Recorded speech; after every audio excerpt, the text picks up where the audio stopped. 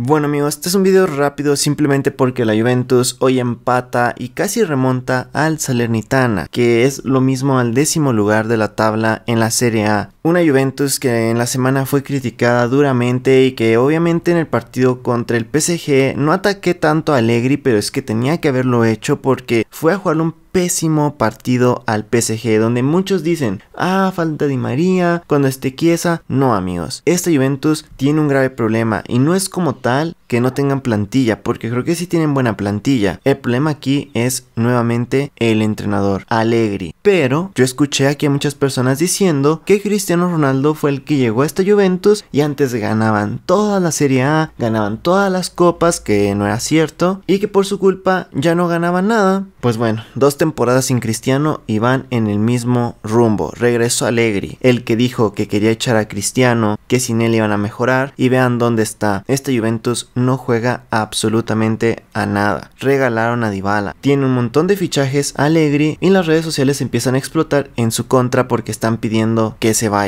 Tristemente, si estuviera Cristiano Ronaldo como se los dije el año pasado, sería el culpable de que se perdiera contra el Villarreal y este año están diciendo de cosas, aunque yo creo que estuviera Cristiano tal vez no hubiesen perdido este partido, por ejemplo, ni otros. Y ese era el problema más grande cuando estaba Cristiano, cosa que hoy señalo con el Manchester United. Cuando estaba Cristiano en la Juventus, muchos partidos con Sarri, con Pirlo, lo salvaba Cristiano, o al menos empataba algunos otros, pero esto que ese Cristiano le hacía mal al equipo, le hacía mal a la Juventus, porque no permitía que echaran estos técnicos a tiempo y que de esa forma pudieran corregir algunas cosas. Lamentablemente la Juventus tiene al parecer la costumbre de no echar al técnico hasta el final de la temporada y no creo que vayan a echar a Allegri, tristemente por la Juventus, pero vean lo malo que es si terminan echando a este Allegri, porque este equipo era un equipazo. Hoy podrían seguir teniendo a Dybala junto con un Vlaovic que es increíble. O sea, Vlaovic está siendo tremendamente poco aprovechado en la Juventus, pero realmente ese fue el problema en gran medida. De hecho, si no es porque llegó Sarri y desmanteló gran parte de la misma, sacó a jugadores que eran buenísimos como Cancelo, como que no le gustaba Pjanic, el intercambio que hicieron por un jugador que ya ni siquiera está en la Juventus como Arthur Melo, el hecho de simplemente echar a Manjukic para traer a Higuaín gordo, que no corría nada, y después debutar a Pirlo como entrenador con un Cristiano Ronaldo ahí, a mi hicieron todo completamente mal. Se tuvieron que ir los troncos que señalábamos en su momento, como Bentancur o Kulusevski, que sí, brillan más con el Tottenham, pero es un estilo de juego completamente distinto. Y con Cristiano no se puede jugar así. Hoy este Juventus no puede jugar como está jugando Allegri. No puedes ir contra el PSG a regalarte. No puedes decir que hay que ser realistas. No puedes ser como un Kuman. Y nuevamente se demuestra que el destruye equipos no es realmente el que destruye los equipos ha tenido muy mala suerte y tristemente Allegri sí que es un entrenador top o más bien lo era, pero hoy en día no está al nivel que llegó a estar en su tiempo. Ya en la temporada de Cristiano él se quiso ir y hasta estuvo a punto de ser fichado por el Madrid antes de llegar a esta Juventus en su segunda vuelta. También ahí señalo la suerte que tiene Florentino Pérez de que Allegri decidiera regresar a la Juventus y no irse al Madrid, porque solamente por eso fichó a Ancelotti. Nuevamente vemos la suerte que tiene, la suerte que tuvimos de que no fichara a Mbappé también. Pero bueno, yo solamente quiero preguntar dónde están aquí, incluso los juventinos que decían que ahora sí iban a jugar mejor, que Allegri sabía lo que hacía y que si él pide que el tronco de Madeira se fuera, sí volver a jugar bien. Aún están a tiempo. Ahora, creo que sí hay jugadores que se tienen que ir de esta plantilla en estos momentos. O sea, Rabiot se tiene que ir y tienen la opción de tener disponibles a tres entrenadores. Obviamente la primera opción es Tuchel, que está ahí más que disponible y creo que podría hacer cambios. Y también que estos fueran positivos. También creo que se pueden ir por Pochettino. Yo creo que muchos están infravalorando un Pochettino que llegó al PSG y que era una crónica de una muerte anunciada, porque realmente vean cómo están estos tres. Pero también me llamaría la atención que se fijaran en Marcelo Gallardo. Tal vez podría ser la oportunidad de verlo en Europa, aunque obviamente ninguno de estos tres que estamos mencionando son el perfil que ha escogido la Juventus, porque no son técnicos italianos, no han entrenado en el calcio, pero tal vez Pochettino pueda ser por quien se decanten. Lo que me temo es que va a ser eso, hasta el final de la temporada, pero esperemos que no sea demasiado tarde. Y aquí sobre todo el problema es que Allegri es el que tiene que renunciar, o sea, Allegri no puede ser tan sinvergüenza y él debería renunciar